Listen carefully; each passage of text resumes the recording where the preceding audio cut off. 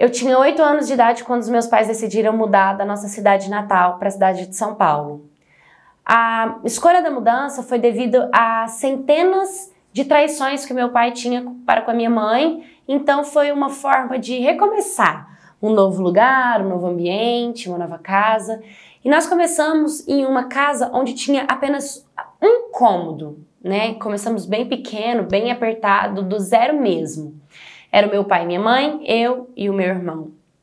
Bom, é, depois de um tempo, a gente morando nesse um cômodo, meu tio conseguiu arrumar um emprego para o meu pai na empresa que ele trabalhava.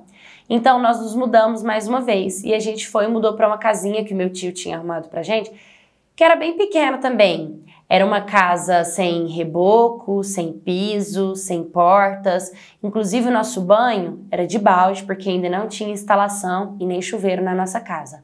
Era tudo muito deprimente, muito triste, muito pobre. E dormíamos todo mundo junto no mesmo quarto. Era uma cama de casal para meu pai, para minha mãe, para mim e para meu irmão. Até que um dia eu estava dormindo e acordei com meu pai apalpando, apertando a minha bunda. Eu acordei, dei uma olhada para ele, eu só tinha oito anos de idade, ele me disse que tava, ia coçar a parte dele, acabou colocando a mão no meu short e me pediu desculpa.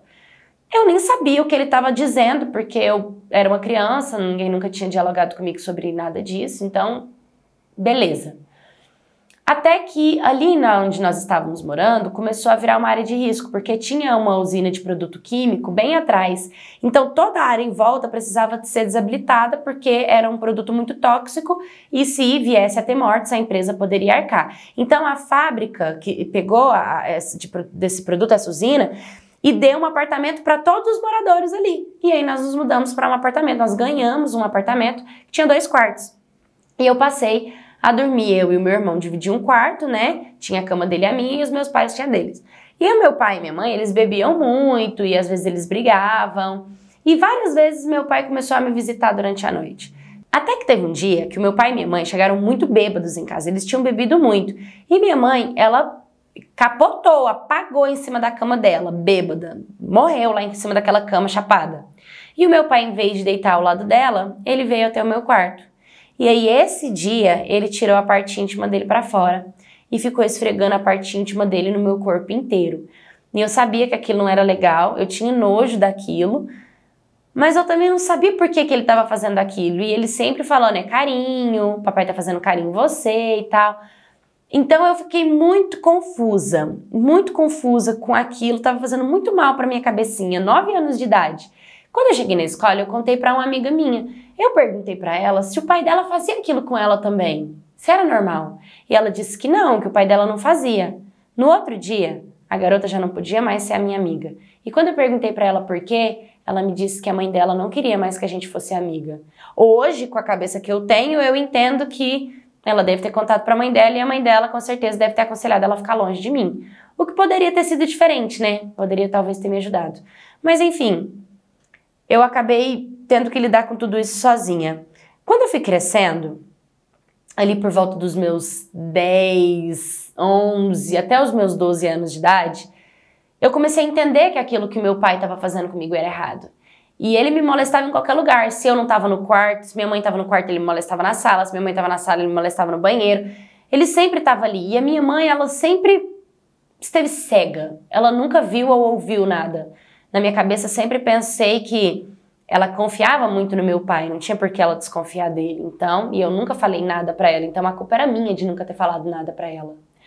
Até que quando eu fiz 14 anos de idade, houve a primeira ruptura do meu ímã.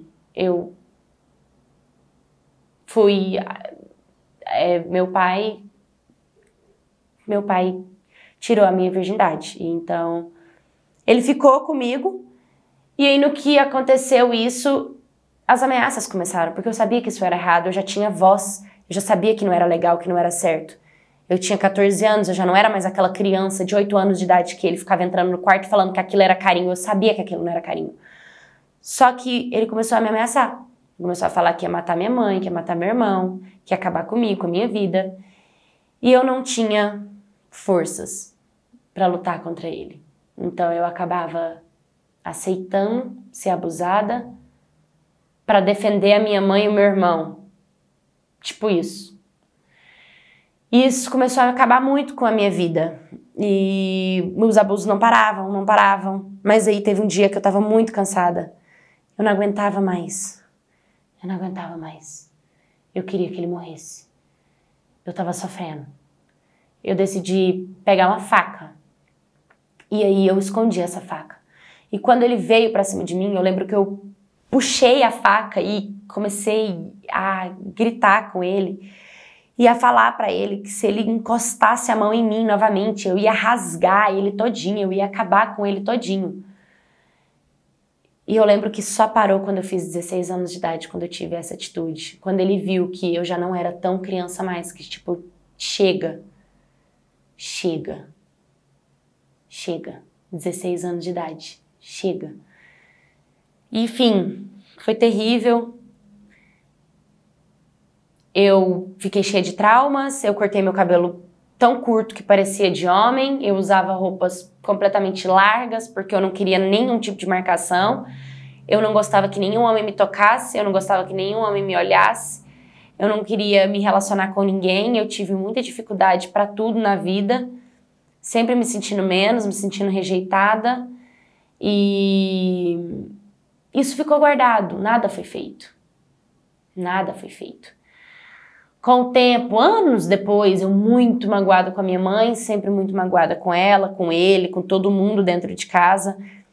Uma assistente social foi atender a minha mãe e ela descobriu que a minha mãe sabia de tudo. Minha mãe sempre soube de todos os abusos. Mas a minha mãe ela era tão dependente emocional dele que ela preferia fingir que não estava vendo para não ter que lidar com a situação. Para não ter que lutar, para não ter que passar por cima disso. E é bizarro, porque eu acredito que muitas mães fazem isso. Elas fingem que, que o filho não está sendo abusado, porque aí ela vai ter que mudar de casa, mudar de vida, largar do marido, começar de novo. E elas preferem autorizar com que o cara abuse do próprio filho do que lutar contra isso. Famosa mãe fraca, digamos, né? E eu tive muita dificuldade na minha vida. Só com 22 anos de idade que eu conheci um rapaz que me ouviu, que teve muita paciência comigo, que me ajuda no meu processo de cura, que me mostrou que tá tudo bem, que me mostrou que acontece com várias vítimas, que eu poderia fazer a minha história ser ouvida por outras pessoas, que eu poderia ser diferente. E hoje, graças a Deus, eu tô casada com ele a gente é feliz, a gente vive uma vida boa, mas eu confesso que é um processo muito doloroso ter que curar esse trauma. Ainda estou tentando descobrir os meios e as vias que eu posso me curar disso 100%. Talvez eu nunca me cure 100% disso. Mas o reflexo que eu, que eu quero deixar mesmo é sobre maternidade. É sobre ser mãe, é sobre responsabilidade, é sobre assumir com unhas e dentes, é sobre proteger de verdade. Eu quero fazer tudo diferente se eu tiver oportunidade um dia.